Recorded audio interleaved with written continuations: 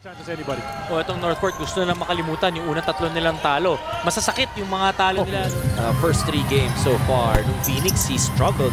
But their first game, actually, Paolo Taha played well against the NLEX Road Warriors. Bringle up ahead to Rashad. Ang pinutos nitong Barangay Ginebra. Rashad playing well. 2-0 so far in this conference. I'll turn you over to our courtside reporter, Dennis Chan. Rashad Woods with easy rebound. So we always talk about what he does offensively.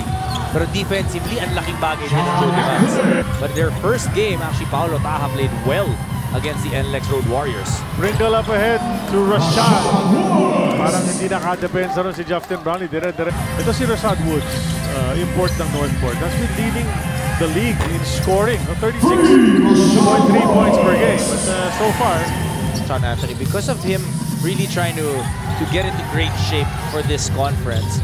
Uh, when I was talking to him, he actually got injured doing the four steps before he gets that rebound. oh ito, na tayo mula kay Roy the Statsman.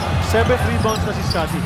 Ha? 9. Hindi na-handle ni Greg yung pasa ni Japet. Stanley nagmamadala, goes to the right side. Taha to the hoop. Unable to complete it. But Rashad Woods was there. Knew, knew to go right into the chest, uh, Dom.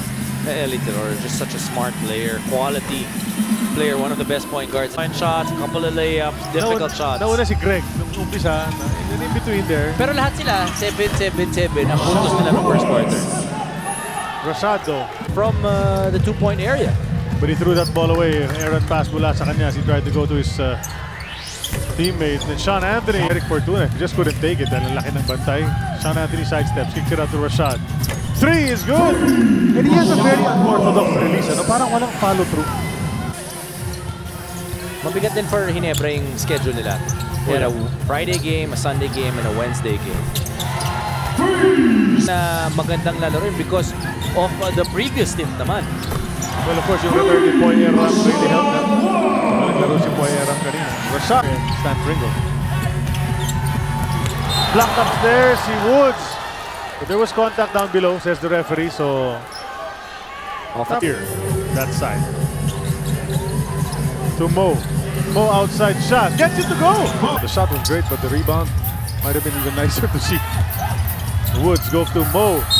Blocked upstairs. Kevin na gonna do? Step out from three. Makakatira pa kaya? And Anthony misses at the buzzer. What an effort from Northport, but you give credit.